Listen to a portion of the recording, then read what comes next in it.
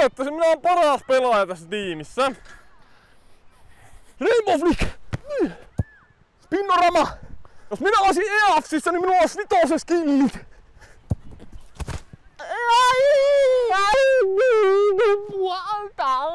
Niin. Peli jatkuu Lassi, nyt filmaaminen.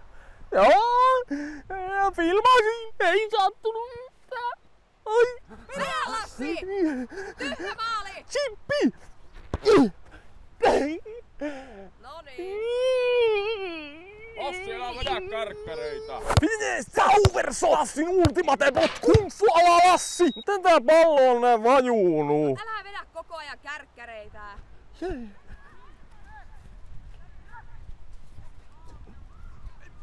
Minä niinku pelipaikalla. No niin.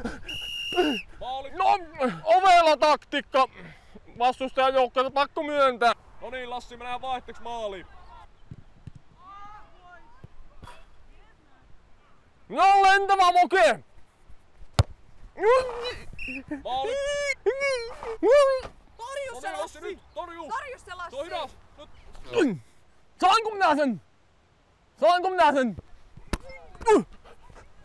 Näittekö tuo minä torjuu sen? Se pakitti maali, se oma maali! Tuo pitää mennä vaaritarkastukseen. Vaari tarkasta tuo. Aika hyvä. Tuolla ei voinut tehdä mitään. Ihan paska. Lentävä moke! Ei! Niin! Ei! Hei! Tuo ei ollut mikään paitsio! Jos tuo oli paitsio, niin minä olen 20-vuotias ja Voguen malli. Pitääkö minun tulla tuomariksi, hä? Turpa kiinni. Puu! En tunne tuota naista, minut on selvä! kidnapattu. Maali. Lassin tuuletus!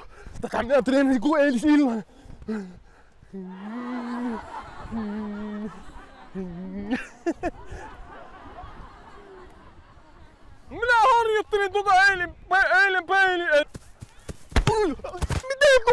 mukaan ollut vihelyksen arvoinen rike?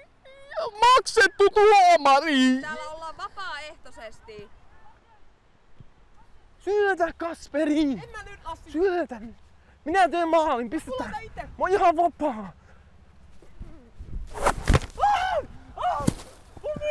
Kasperi kompastu!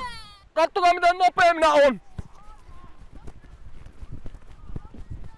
Kattokaa millainen pallotatsi minulla on! Pallo on kuin liimattu jalkoihin! Vapaa! Vaihtoon nyt, Lassi. Nyt, Lassi. Vaihtoon. Miksi sinä otat parhaan pelaas vaihto? Minä kärrin tätä. Urheiluhenkeä vähän nyt. En halua tulla vaihtoon. Hyvä veli. Poikia paska päät, minä kärrin tätä joukkuetta. Voi Lassiko! Lassiko! Täällä... Maali! No niin. Mä arvasin, että sut olisi pitänyt pistää lentopalloon. Käsivirhe. Maalia ei hyväksytä. Mikä käsivirhe? Se oli nukleball! Minä oon lentävä maalivahti, niin minähän saan koskea palloa. Punainen kortti. Lassi suihkuu nyt. Minä vasta viime viikolla kävin!